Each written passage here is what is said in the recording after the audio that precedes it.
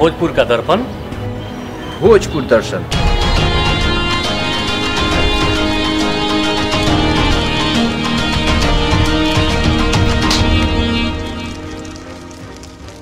भोजपुर दर्शन आपकी बात आपके साथ।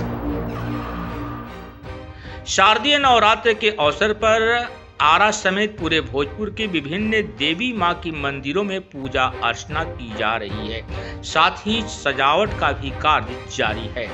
प्रसिद्ध मंदिर बखोरापुर काली मंदिर में भी भक्तों का तांता लगा हुआ है। भक्त प्रातःकाल और सायंकाल माँ की आराधना में लीन दिखे गए। हालाँकि कई लोगों का ऐसी चर्चा है कि बाढ़ के कारण के मंदिर में पूजा अर्चना बंद है तो ऐसी बातें नहीं है। माँ बखोरापुर काली मंदिर के मंदिर में पूजा अर्चना जारी है और हर भक्त प्रतिदिन काफ़ी संख्या में भक्त पूजा अर्चना करने पधार रहे हैं। हर साल की भांति भांति में इस नवरात्रि के शुभ अवसर पर जय माँ काली बखोरापुर वाली मंदिर में हर कीर्तन का आयोजन किया गया है। सप्तमी तिथि के से लेकर के अष्टमी तिथि तक हर कीर्तन चौबीस घंटा के हर की- अखंड हर कीर्तन होगा।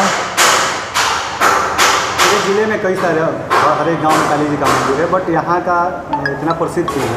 इसके बारे में थोड़ा सा डिटेल्स जी माता जो है ये तो ग्रामीणी देवी है जिससे हर गाँव में माँ काली की मंदिर है समैया की मंदिर है सन अठारह सौ बासठ ईस्वी में बखोरापुर गाँव में हैजा बीमारी हुआ था, उस बीमारी के कारण इस गाँव में सात आठ सौ आदमी मरे। मरने के बाद में यहाँ के पुरानिया ने मन में विचार के कहा कि कहीं धर्म में कमी हो रहा था तो मंदिर, माँ का मंदिर जो है गाँव में आगे, गाँव में था, आगे में नाली की पानी बहता था। जो भक्त तब यहाँ, जिस समय बिहार झारखंड एक था, शिक्षा विभाग के डायरेक्टर थे द्वारिका बाबू, अपने हाथों से मंदिर का यहाँ निर्माण कराए और उन्हीं के नाती सुनील सिंह गोपाल अपने बाबा को कुछ पैसा दिए और उन्हीं के पैसा के माध्यम से माँ का ऐसा आशीर्वाद हुआ कि जो भक्त आते हैं सच्चे मन से पूजा करते हैं माँ सबको मनोकामना के पूर्ण करती है।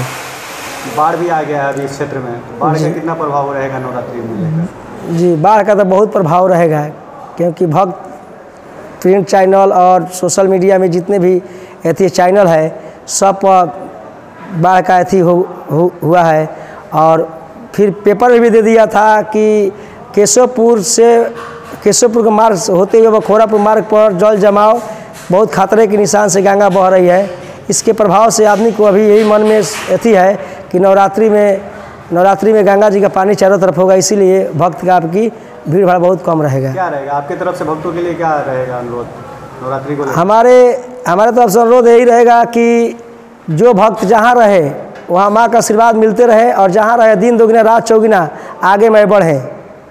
नवरात्रि में जो आना चाह रहे हैं जो भक्त माँ का दर्शन करना चाह रहे हैं तो क्या? जी अब आ सकते हैं। भक्त के आने में कोई कठिनाई नहीं है। केशवपुर से बखोरापुर के लिए रास्ता पूर्ण रूप से पानी नहीं है वहाँ।